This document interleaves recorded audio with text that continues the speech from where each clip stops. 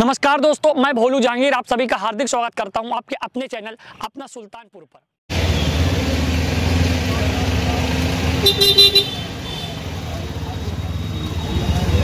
हम लोगों का रोज का उठना बैठना डेली का लगभग।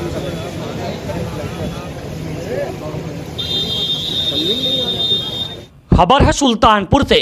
सुल्तानपुर में बीती शाम अधिवक्ता की गोली मारकर हत्या कर दी गई, जबकि उसका भाई गंभीर रूप से घायल हुआ है। वहीं हालत गंभीर देख डॉक्टरों उसे लखनऊ रेफर कर दिया है और घटना के बाद हमलावर मौके से फरार हो गए हैं। आपको हम बता दें कि वहीं इसकी जानकारी लगते ही पुलिस महकमे में हड़कंप मच गया। फ़िलहाल हमलावरों की तलाश करने के साथ साथ पुलिस मामले की पड़ताल में जुटी है। आपको हम बता दें कि वहीं इस मामले में सुल्तानपुर के एसपी ने जानकारी दी कि थाना कोतवाली देहात के भुलकी में गोली चलने की सूचना प्राप्त हुई, जिसमें मोहम्मद आज़ाद पुत्र सलीम एवं मोहम्मद मुनव्वर पुत्र सलीम को गोली लगी।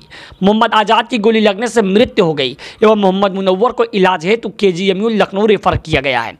आपको हम बता दें कि एसपी ने जानकारी दी कि मजरूब द्वारा दी गई शुरुआती जानकारी के मुताबिक यह घटना सिराज एवं उनके साथियों द्वारा की गई है। और जाँच के दौरान ये भी पता चला कि सिराज थाना कोतवाली नगर का हिस्ट्री सीटर है तथा मुनवर और सिराज कई अपराध में सह अभियुक्त भी है। ये मिलकर प्रॉपर्टी डीलिंग का काम करते थे।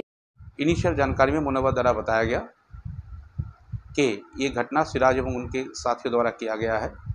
सिराज थाना कोतवाली नगर का हिस्ट्री शीटर है, तथा जो दूसरे भाई हैं, मोहम्मद मुनव्वर मोहम्मद मुनव्वर और सिराज, ये इकट्ठे कई मुकदमे में सह अभियुक्त यानी कि को एक्यूज रहे हैं।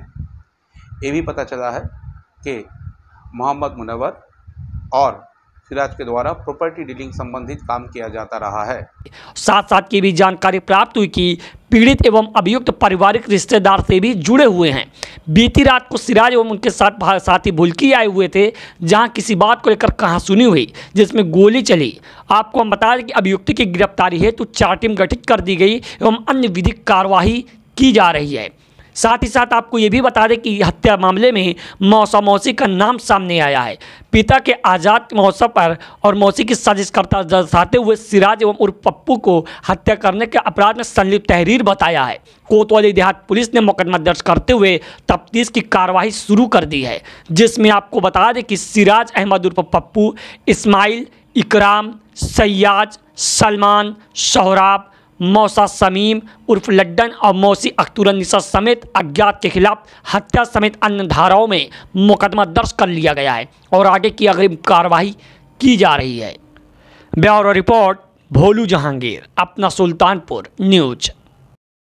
सुल्तानपुर से जुड़ी रोज़ाना वीडियो देखने के लिए अपना सुल्तानपुर चैनल को सब्सक्राइब करें। अगर आप यह वीडियो हमारे फेसबुक पेज पर देख रहे हैं तो पेज को लाइक कीजिए फॉलो कीजिए।